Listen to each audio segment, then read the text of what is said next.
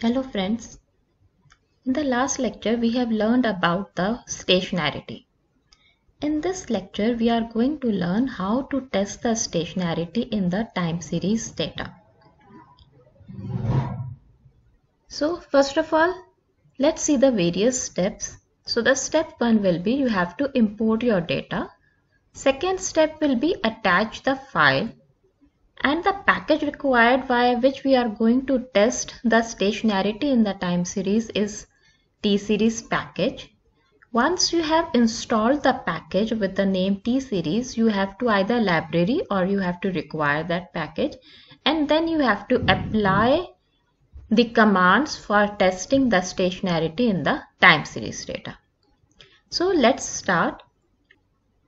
So I have already imported the data file and I have taken the company Century Textile and the data has been collected in the time series and the daily closing price of the Century Textile has been taken.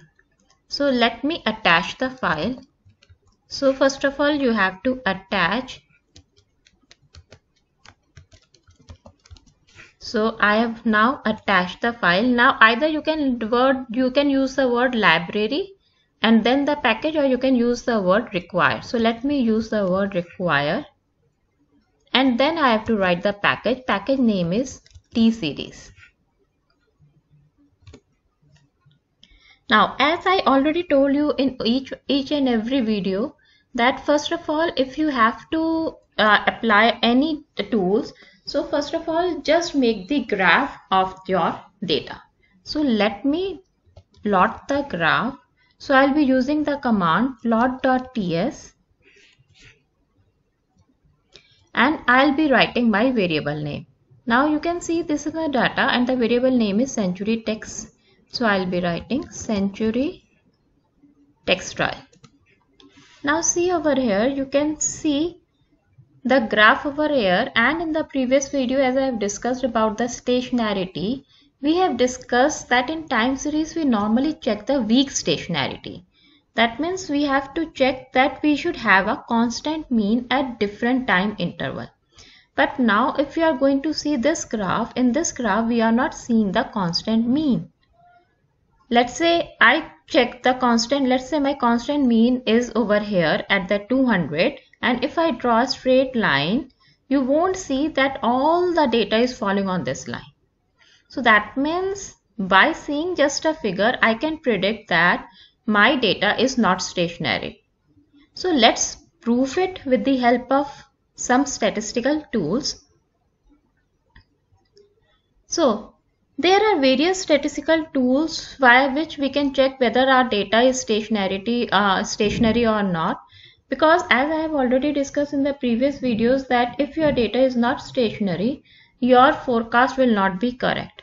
That means in doing any analysis of the time series data, the first step that you have to check is that your data should be stationary. And if it is not stationary, you have to convert that data into stationary before applying any other tool. So by seeing the plot, we have just verified that my data is not stationary. So let's prove it with the help of some statistical tools. There are various statistical tools by which I can prove that whether my data is stationary or not. One of the tool is by testing by augmented Dickey-Fuller test which is commonly known as ADF test. Second is Philip-Perron test which is commonly known as PP test and third is KPSS test. Uh, irrespective of these three uh, three tools, there are various other tools also, but I'll be discussing about these three tools. In this video, I'll be discussing about ADF test only. In the next video, I'll be discussing about Philip Perron and your KPSS test.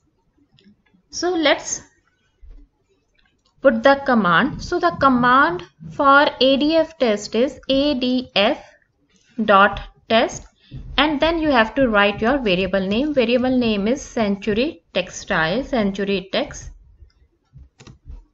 Now see, this is my data now, if I see my p-value, uh, this uh, Dickey-Fuller represents your t-value, then your lag order, and then your p-value.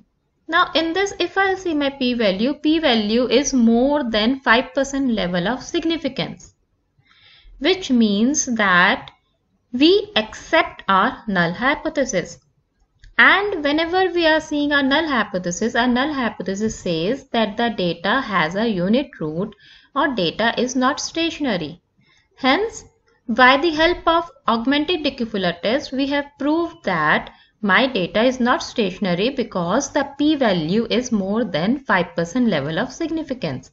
Over here, my p-value is showing 26%. But we normally take 5% level of significance. So if the data is stationary, this p-value should be less than 0.05. So there is a unit root which is present in my data. So before applying the forecasting tools or any other tools, I have to remove the non-stationarity from my data. That's all for this lecture. In the next lecture, we are going to discuss how to remove this non-stationarity from the data. Thank you.